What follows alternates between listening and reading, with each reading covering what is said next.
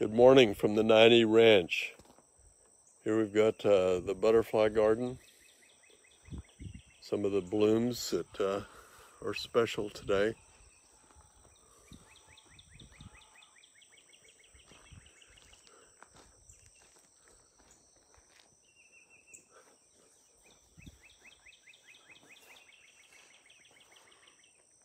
Early in the morning, on the first day of the week, the women took spices they had prepared and went to the tomb. When they arrived, they found the stone had been rolled away. They went inside and they did not find the body of the Lord Jesus. While they were wondering about these things, suddenly two men with clothes that shone like lightning stood before them, and in their fright they bent down to the ground. But they said, the men said, Why do you look for the living among the dead? He is not here. He is risen. Remember how he told you while he was still in Jerusalem that he must be turned over to sinful men, crucified, and then be raised again. Then the women remembered those things, and they went back and they told all the others, the eleven, all the things that they had seen. It was um, Mary Magdalene, Joanna, Mary, mother of James, and the other women who told the apostles.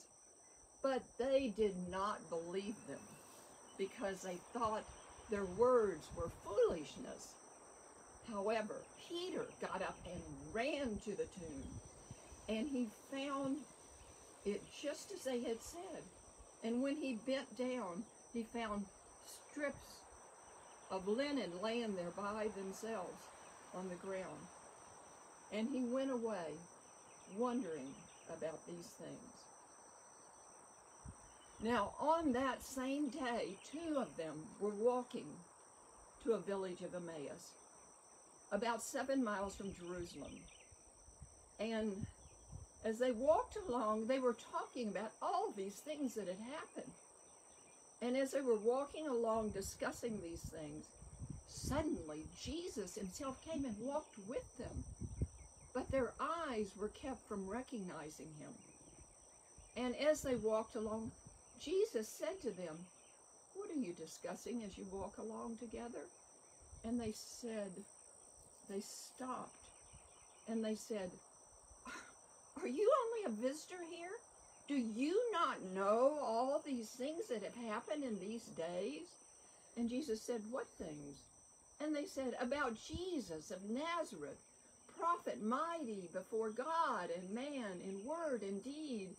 And our chief of priests and the rulers turned him over to be crucified. And we had thought he was the one that was going to redeem Israel. Jesus said, Oh, you slow of heart and foolish to not believe all that the prophets have spoken. Did he not have to be crucified and raised from the dead? And then Jesus began with um, Moses and all the prophets, and he explained to them all that was spoken about himself in the scripture.